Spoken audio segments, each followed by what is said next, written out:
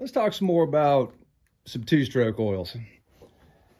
All right, so I thought when I started this that I knew a pretty good amount about two-stroke oils. And since making this video about why not to run Stihl Ultra, and most of that was based on, you know, stuff that I'd read on the internet and, you know, some firsthand experiences at the bench. I mean, this is what I do for a living. I don't do anything else. I work on primarily chainsaws and other small engine stuff.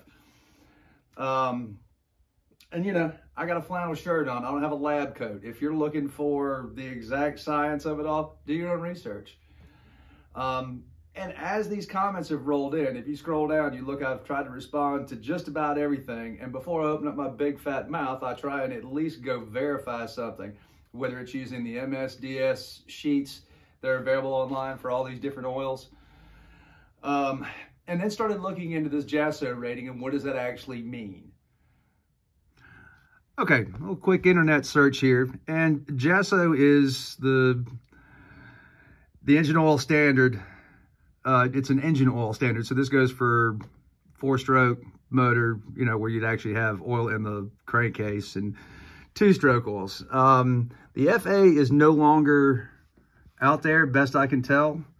And basically what this says is, and you can kind of see the progression of the oils where FB, you know, has got increased lubricity and some detergent um, and it, you know, a low smoke.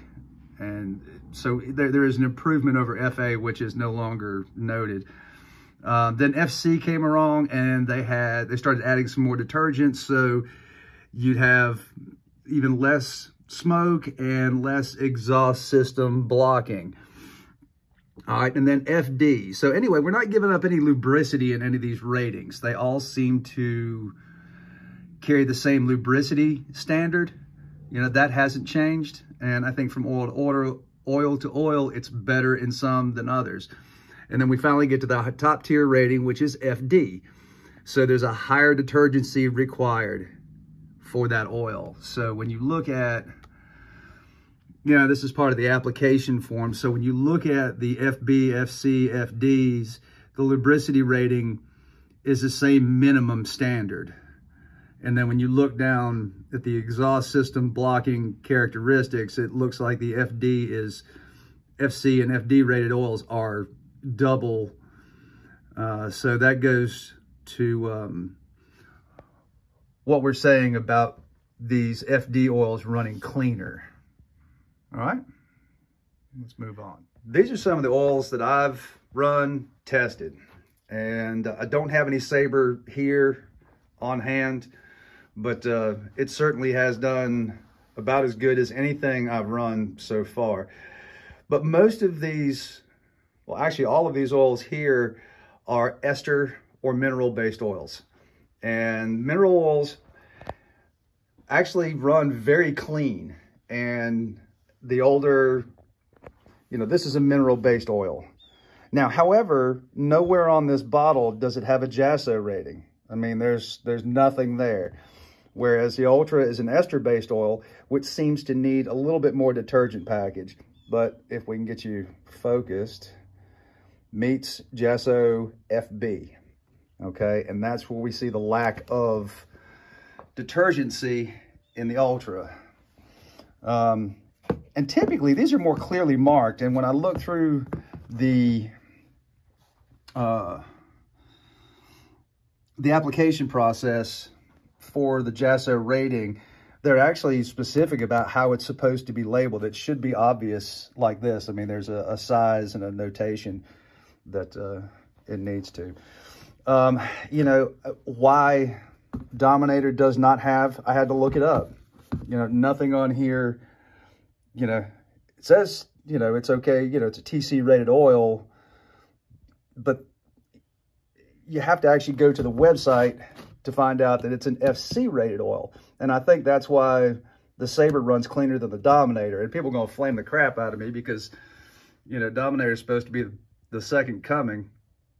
Um, I think the Saber actually runs better. As far as boat oils, you're going to have to do your research. And the reason why I run Schaeffer's is because Tree Monkey, Scott Coons, um, has run it for years and there's long-term testing there and I've witnessed the same results in my own saws. You run what you want. You know, stuff like this, you know, there's absolutely nothing on here and you're not going to get anything out of it other than it's a two-stroke oil and no ratings, no nothing, pack four, you know, and, and let's get this straight, that none of the manufacturers make their own oil, you know.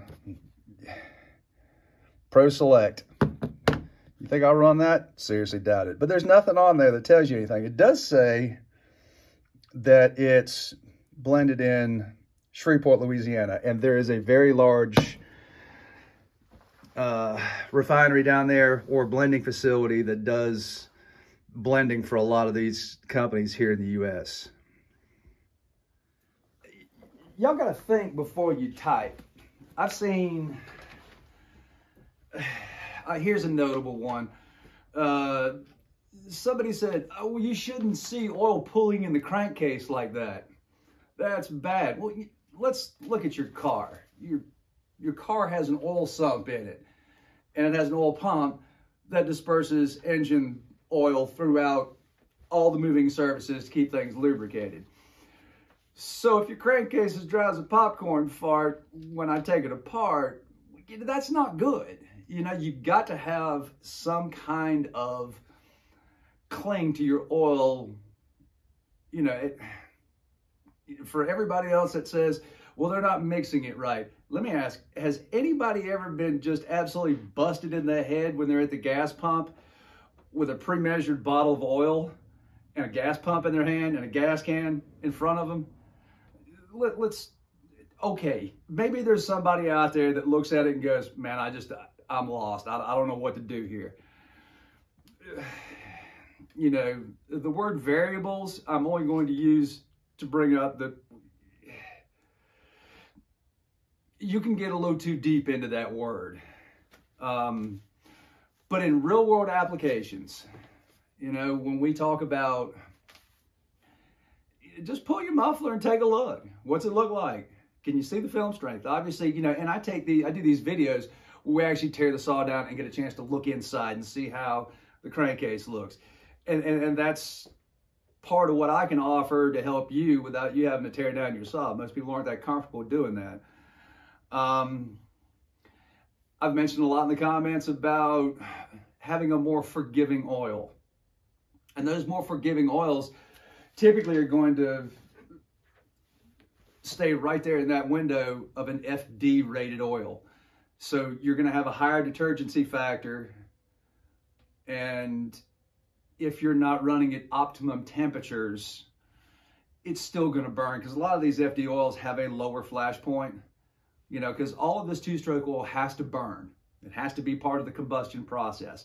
And how cleanly it burns dictates where your carbon buildup is going to be. If you got a high flash point and low detergency in an FB oil, you're going to run into issues. You know, let's talk about it in like um, like a hedge trimmer. You know, so you're using your hedge trimmer and you're partial throttle, partial throttle, wide open, wide open, partial throttle, partial throttle. You're going to need a more forgiving oil for that. For a regular weed eater, same thing. Who cranks up their weed eater and runs it full tilt boogie? Actually, somebody said they did. They run it like they stole it. So there's that one guy. Might be more. But typical operation. Just think about it you know, zip, zip, zip, zip, zzz, zip, zip, zip, zip.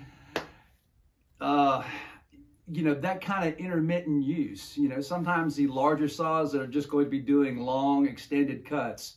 So if you got a 90 cc saw and you got a three foot bar on it, there's not a whole lot of dilly dallying.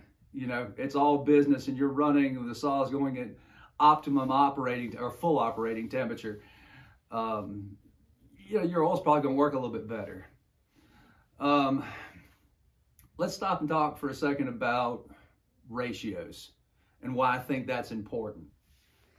I'd like to argue the idea that 50 to 1 is to meet emission standards and that only your top tier oils that are FD rated are really going to do an adequate job at lubrication.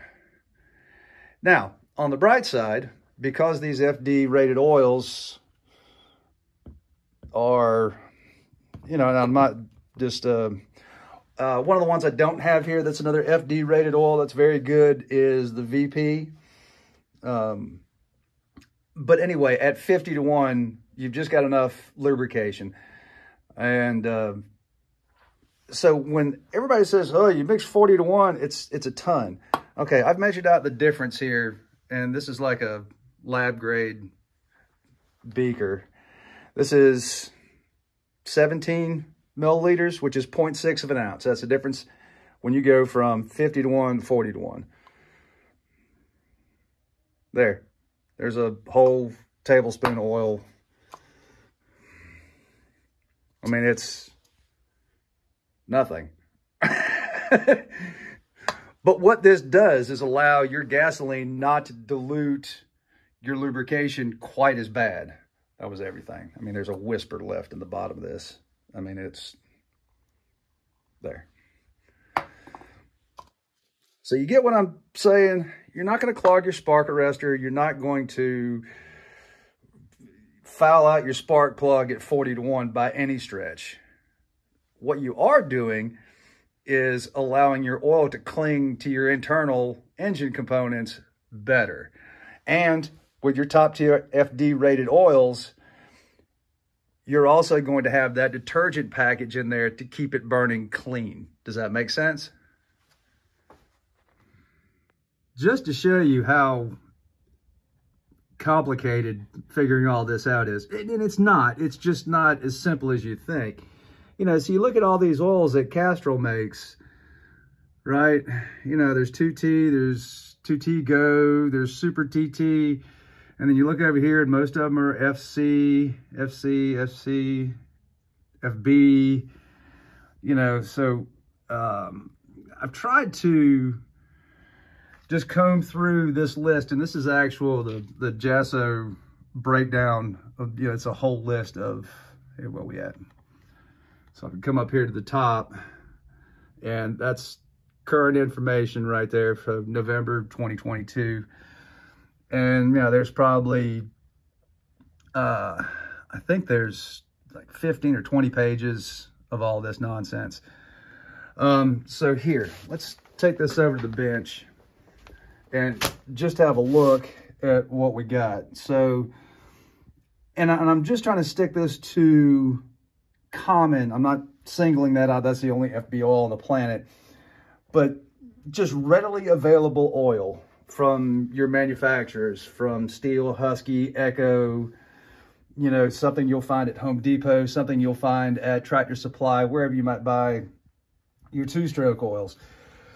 Um, so FC, so we've got better detergent package, Dominators there, um, and the Castrol 2T Go is FC rated. Um, here's our FD list. So every last one of the Echo oils the Power Blend, the Power Blend Gold, their low smoke, their red armor. If you pick an, an Echo oil, it's going to be FD rated. Um, with Husky, it's the XP Plus, and their low smoke also, according to that list I just showed you, is um, is FD rated. If you come down here, the HP that they've had around forever is like a verified formula. I, I don't know what that means. Um, for whatever it's worth, I've seen some long-term use of the HP oil at 50 to 1, and I've seen some piston skirt wear. You know, long-term, this is a guy that does commercial falling. And the Stihl HP is, I can't find any nomenclature rating for that oil. Um, that doesn't mean it's either one of these are bad oils. It's just they haven't gone through and had it certified at these top tier levels. Uh, the Red Max uh, is your uh, is an FD oil, the Johnson Red. Um, HP Super. Now, this is unusual because here in the States, or at least in my area of the United States in the Southeast, the only thing I've ever seen in a Stihl dealership or an Ace Hardware is just the traditional HP orange bottle and Ultra. Um, there's different formulations for Canada and Europe. I don't know why. Um, VP Racing, Make sure that's their full synthetic. That's what I was able to find. That's FD rated. Uh, Saber's an FD rated oil as well. So I hope that's clear as mud. You know, just know what you're using and uh, we'll talk about fuel storage here. Let me set you down. All right. Hopefully we're a little bit smarter after all that. I know I am. I've learned a lot by replying to the comments. Um, at this point in time, I want to ask you for a like and a subscribe if you feel inclined. You've been modestly entertained. Um, going forward, I think the only thing I really want to touch on is maybe fuel. Um, and just be mindful of what's out there. Your regular pump gas with ethanol is going to have a pretty short shelf life. You can go to the uh, manufacturers. You know, I think Sunoco's got some stuff out there as, as well as, as a few others. Um, and basically what you're looking at with ethanol fuel is about a 30 day window where you need to be able to turn that over. So if you've just got like a weed eater and don't mix up a whole gallon of gas, uh, want to see, you know, fresh gas cycle through on a regular basis. Um, so if that's the case, then just, you know, buy a quart of canned fuel. Um, there's plenty of brands out there. I've heard some things about some. That's for a whole nother day. But as far as like the storage on that, it seems to go better because it's an off-road type fuel. It doesn't have the same chemicals and detergents that's our cars have been engineered to accept. You know, stainless steel fuel rails, you know, no more rubber O-rings and things like that. Where our chainsaws and our weed eaters and backpack blowers also have rubber rubber fuel lines, you know, diaphragms in the carburetor, and those will stiffen up with, you know, sour fuel. Um, if you can, run non-ethanol gas. Um, you've got a better window for shelf life. Uh, I think the accepted time frame is about 90 days before the gasoline starts to fall off. You know, pure gasoline, just regular pump, non-ethanol fuel. Um, and, you know, and that's, fresh fuel's always good. Um, storage wise, you'll have to think about it this way. The less air that's in whatever container you have. So if it's full 95% of the way to the top, there's a, only a little bit of air in there and the fuel deteriorates slower and this is from the gasoline manufacturers.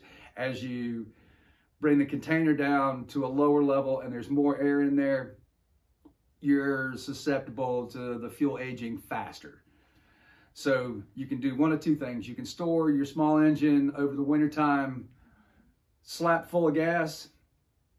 Um, I would also recommend dumping that fuel out in the springtime and starting with a fresh batch of mixed gas.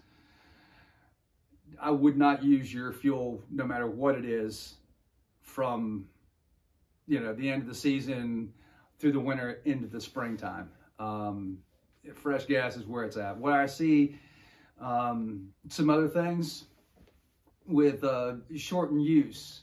Um, hedge trimmers are one of the worst. Generators are absolutely the worst.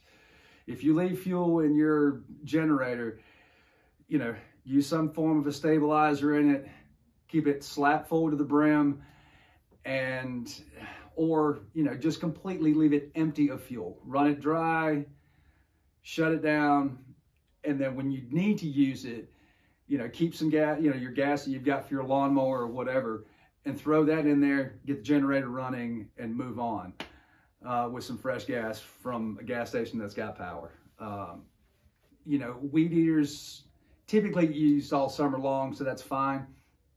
Hedge trimmers, they get used once or twice a year, or sometimes you don't even use it in a year. You may forget to or just don't get around to it. Um, again, probably best just when you're done using it, dump the gas out, run it dry, put it up. And when you're ready to use it again, pour fresh mixed gas in there and go from there. So I, I think that's my two cents on gasoline.